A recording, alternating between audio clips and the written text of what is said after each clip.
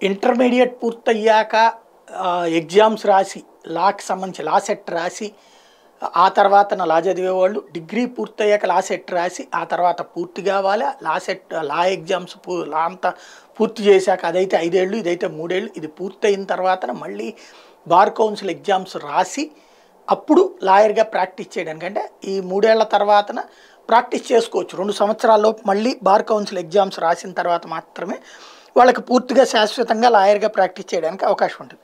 అప్పుడు దాన్ని రిజిస్టర్ చేసుకుంటారు. బార్ బార్ అసోసియేషన్ మెంబర్షిప్ ఉంటుంది.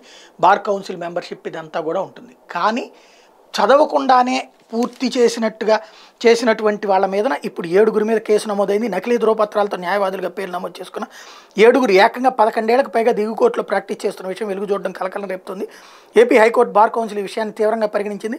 కౌన్సిల్ కార్యదర్శి బి పద్మలత గుంటూరు జిల్లా తుళ్ళూరు పోలీసులు ఫిర్యాదు చేశారు. దీంతో నకిలీ న్యాయవాదులపై కేసులు నమోదయ్యి మొత్తం పదిహేను మంది నకిలీలను బార్ కౌన్సిల్ గుర్తించగా వాళ్ళలో ఎనిమిది మంది స్వచ్ఛందంగా ముందుకొచ్చి న్యాయవాదిగా పేరుని ఉపసంహరించుకున్నారు. మిగిలిన ఏడుగురిపై క్రిమినల్ చర్యలు తీసుకోవాలని కోరుతూ బార్ కౌన్సిల్ ఈ నెల పదకొండున తుళ్ళూరు పోలీసులకు ఫిర్యాదు చేసింది. దీంతో కేసులు నమోదయ్యాయి. నిందితుల్లో Chintakayala CSN Murthy Tuni D Chamundeswari Tenali CD Purushottam Anantapuram D Ratnakumar AP high court practice అనే మహిళ ఉన్నారు. ధృవపత్రాలు పరిశీలనలో భాగంగా వీరి విద్యార్హత పత్రాలు సరైనవో కావో తేల్చేందుకు సంబంధించిన కళాశాల యూనివర్సిటీలకు పంపగా అవి పోర్జరీ అని తేలింది. బార్ కౌన్సిల్ పోలీసులకు ఇచ్చిన ఫిర్యాదులో పేర్కొంది. అలాగే చిక్కి నాగేశ్వరరావు సత్తెనపల్లి మాచర్ల వెంకటేశ్వరరావు సత్తెనపల్లి కొత్తూరు శ్రీనివాస్ వరప్రసాద్ కాకినాడలను కూడా నిందితులుగా పేర్కొన్నారు.